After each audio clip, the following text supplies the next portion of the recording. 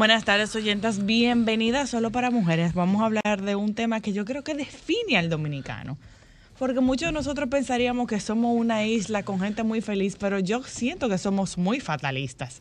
Aunque nos mantenemos de una forma cómoda en nuestro fatalismo, pero siempre pensamos y hablamos siempre de lo peor. Ya lo saben. Para eso tenemos esta tarde en compañía de nosotras al joven, hermoso talento, Elías Cerul, quien va a conversar con nosotros su punto de vista de lo que es el fatalismo del dominicano. Fatalidad. Somos tan así, Elías. Eh, hola, ¿qué hay? Gracias por tenerme primero. Eh, ok, vamos por parte. ¿Cómo te definen fatalismo? Bueno. Negatividad. Para mí es que te esté llevando el diablo. Sí, el dominicano siempre está en la lucha.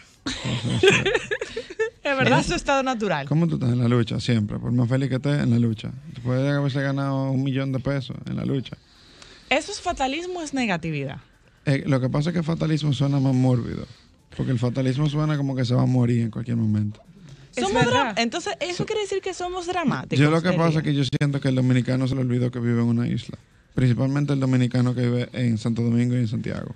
¿Y por qué? Porque se, porque se cree que vive en una metrópolis. Señores, ¿verdad? ¿entiendes? Y no vivimos en una metrópoli. Esto es un allante de metrópolis. es un intento de ciudad. Es verdad. Porque que aquí vivimos una vida que ni en Nueva York. O sea, como que tú crees que tú andas en Nueva York porque tú andas a millón, todo sé cuánto, y una prisa, y tú tienes la playa 15 minutos y hace cuánto tú no vas. Es verdad. Es verdad. El fatalismo entonces lo definiría el que nosotros constantemente luchamos con el hecho de que vivimos en una isla y no queremos vivir en una isla, porque que- no vestimos como isla, no comemos como isla, no actuamos como isla y no nos vemos como Yo, yo isleños. siento que tenemos, o sea, pero es, un- es también un tema de burbuja, porque fíjate, eso, eso es principalmente para capitaleños y Santiago. Fuera de ahí, la mentalidad de vida del dominicano es muy diferente. Es Tú- verdad. Yo no lo había pensado de esa forma. Yo ni me había dado cuenta. Tú coges para Nagua, tú coges para Montecristi, tú coges para San Pedro. Punta Cana. Punta, Punta Cana otra cosa. Punta Cana tú llegas a Miami ahora mismo. Punta Cana de- está dentro de la misma metrópoli que estamos Punta hablando. Cana tiene otra- ti- con gente mudada de Santiago y Santo Punta Domingo. Cana es un, un sitio amorfo ahora mismo y muy extraño. Un sitio que no, como que no se termina de cojar en lo que va Su a ser. identidad. Sí, porque no es, es como un mall grande, porque no es una ciudad. ¿Tú estás yendo ¿Cómo eso, así? produce? Punta Cana es un Un mall mall grande. grande. O sea, Punta Cana no, no, no es una ciudad. Yo no me creo que... El que vive en Punta Cana no tiene nada que hacer, Es verdad. no tiene tránsito público. Es verdad. Sí, sí, pero aún así, o sea, de que el que no salió en Punta Cana a las 6 se quedó en su casa. Porque no va por parte. Allá no hay transporte público, allá no hay taxi. Para tú coges un taxi para cualquier lado, te lo pagan en dólares, mi amor. Y no es verdad que tú vas para el cine si te cuesta 25 dólares ir y volver. Ahí hay 50. cualquiera se 2500 nada más en Porque tú ganando en pesos, que te digan, no, son 30 dólares para ti en taxi para Blue Mall. Ajá, es cierto. Esos son tres meses de Netflix, cualquiera se encojona. Dos tres meses de Netflix y, ve- y la cocaleca está chela en el Eso- supermercado. eso- eso cualquiera se encojona con eso, entonces yo entiendo. Pero sí, yo siento como que aquí tenemos un tema de que somos chelchosos, pero también como que somos chelchosos, pero no, no somos muy de, de, de- de positivismo muchas veces. Por eso, yo siento que más de aquí, más de ciudad. Es verdad, porque por ejemplo, yo me, acuer- yo me acuerdo que yo tenía una amiga que yo la llamaba y yo le preguntaba, hola, ¿cómo tú estás? ¿Cómo te sientes? Ahí, regular. Sí.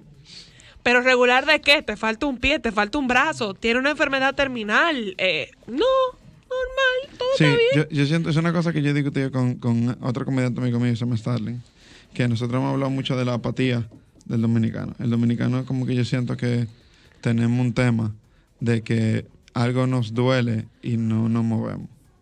O sea, como que yo siento que de ahí viene tal vez eso que tú describes como fatalismo, de que, de que somos apáticos, como que la vaina no importa y nos joden, pero no tanto como para hacer algo. Para hacer algo, ¿entiendes? exacto.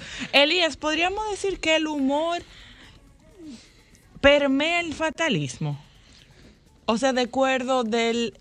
Porque yo creo que el dominicano es muy humorista, tiene un humor bastante negro y muy particular, pero tal vez eso es lo que uno podría entender como fatalismo, que es un humor encubierto, ¿no?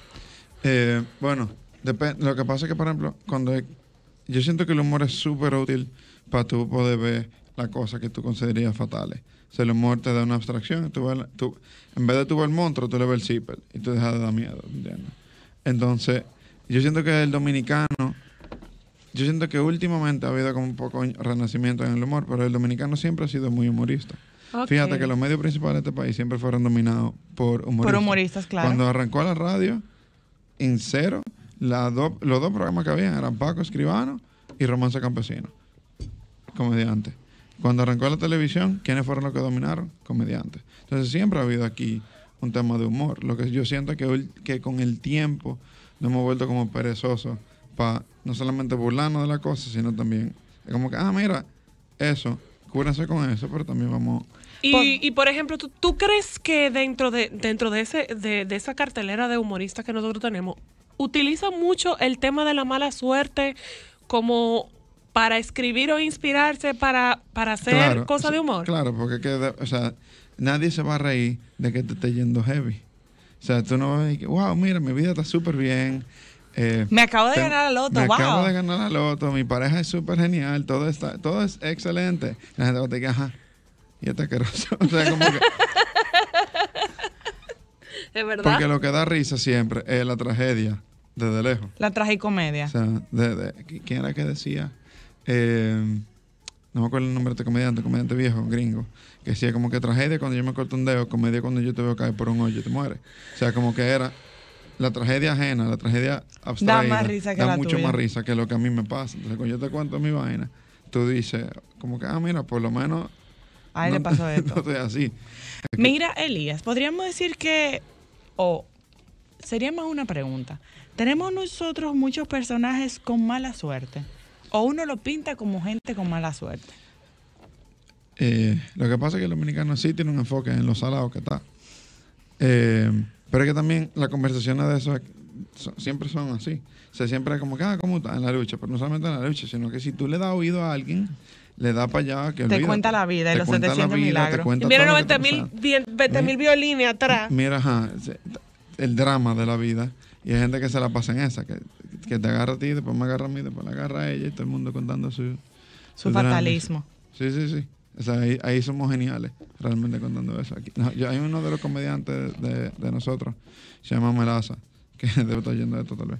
Eh, Melazaun es ese. Que es tipo, es un salado de la vida. Pero es real. Pero casi- es real. Yo casi sí. O sea, las cosas que a él le pasan, no le pasan a nadie. Entonces yo, hay veces que uno ni siquiera junta mucho con él, porque que- te, te comienza a pasar un par de vainas después que te juntas mucho con él. O sea, Melaza tuvo la gran suerte un día de que le hicieron un débito de 3 millones de pesos. Él no tenía 3 millones de pesos. Él tiene una cuenta que de repente dice 3 millones de pesos en negativo. Y, e- y era un hoyo negro de cuarto. Eso fue todo lo que tú le transferías desaparecía en el infinito. O sea, t- y tuvimos que hacer un show por las redes para que el banco le respondiera. O sea, ahí fue que, que llamaron O sea, a él, era millonario, pero a la vez Eh, no lo fue. No, no, él, era un- él tenía una deuda millonaria y una sal del carajo. Oh, wow. O sea que, bueno, señores, en conclusión, yo creo que sí, que nosotros tenemos una versión muy particular, las metrópolis de nuestra gran isla, de ser fatales. Sí, yo siento que se nos olvidó. Si nos acordáramos que hubiera una isla. Perfecto. Ojalá que, ojalá que podamos volver a eso, Sí. Elías. Muchísimas gracias por acompañarnos. Gracias. Les invito, este miércoles tenemos eh, un show, que bueno, un open mic, que no más de mujeres. Ay, qué van a ápero. Mira qué Sabrina interesante. participó la semana pasada. ¿no Ella, participó en un show, pero no fue un open mic. Ella participó en un show de Freddy. Sí. Ah. Sí, le fue muy bien.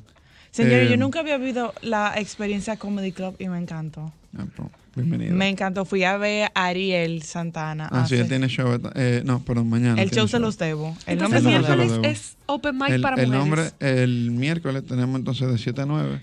Tenemos open mic de mujeres. Se van a presentar algunas seis mujeres que son nuevas en esto. Eh, y entonces estamos invitando a que participen más personas.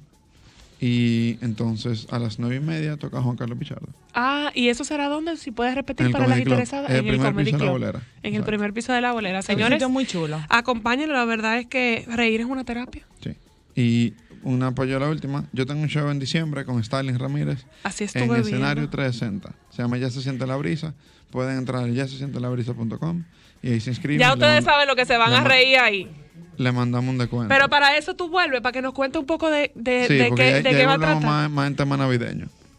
Que Menos debe ser muy fatalismo. interesante. Sí, hay, hay O la más gente, hay la gente fatalista. como que le da chance al fatalismo y como que de, de noviembre a enero se da un humo y se le olvida.